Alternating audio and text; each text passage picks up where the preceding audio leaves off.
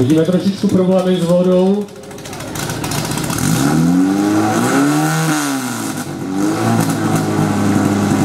Tam se mi nepovedlo navíc, zkoušeli to ještě nasát, ale to se nepodařilo, takže znovu navíc.